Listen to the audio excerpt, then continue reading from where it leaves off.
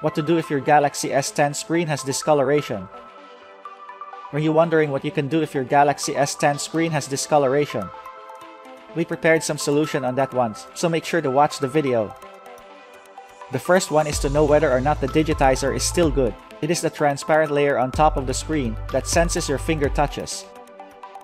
If your S10 has become unresponsive to touches, the digitizer is most likely damaged.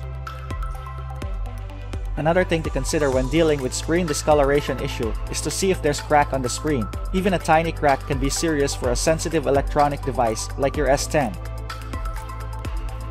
If discoloration is severe and affects how images are being shown, screen replacement is the least that can be done for your phone. If your S10 screen started showing discoloration even when you did nothing that may have caused physical damage, it can be due to a minor temporary bug. Bugs of these types may go away after restarting the device so that's exactly what you want to do next.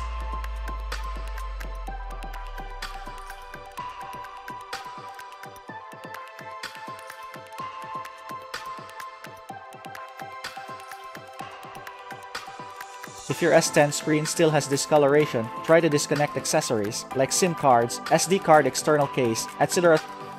Some Samsung Galaxy users in the past were able to fix unexplained discoloration on their screens by doing this step.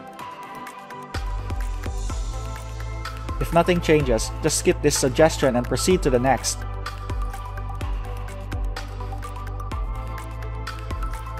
Another good troubleshooting that you can do at this stage is to check if the cause of the problem is a bad app. Some poorly coded apps may interfere with Android and some functions. To check, restart your S10 to safe mode and see if the screen works normally. If it does, then it means you have an app problems. If your S10 screen still has discoloration and nothing changes on safe mode, the next troubleshooting step is to wipe it. Doing this return all software settings to their factory defaults.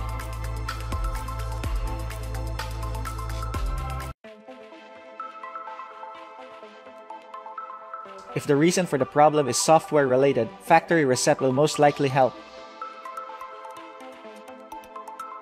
If screen discoloration persists after wiping the device with factory reset, that's a confirmation of a physical problem. This usually occurs after dropping the device causing permanent damage to the hardware. Visit your local Samsung service center as early as possible to have the screen fixed if there's no more screen insurance on the device, repair cost is usually passed on the owner, so that means you'll most likely spend upwards of $200. Breaking the screen by dropping it or hitting the device by an object is considered misuse so that automatically voids the standard 1-year warranty. Still, repair by Samsung is the best option that you can do at this stage. If you can't send your phone to an official Samsung service center, then bringing the device to a third-party shop is the next best thing to do.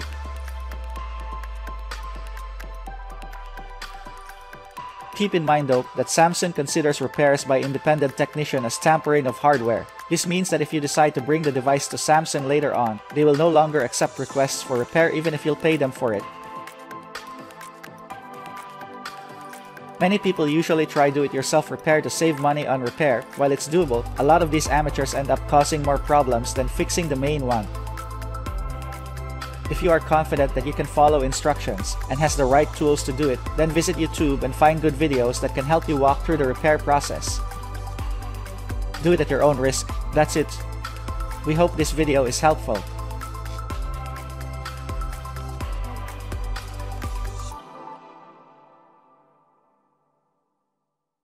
Please subscribe for more S10 videos in the future.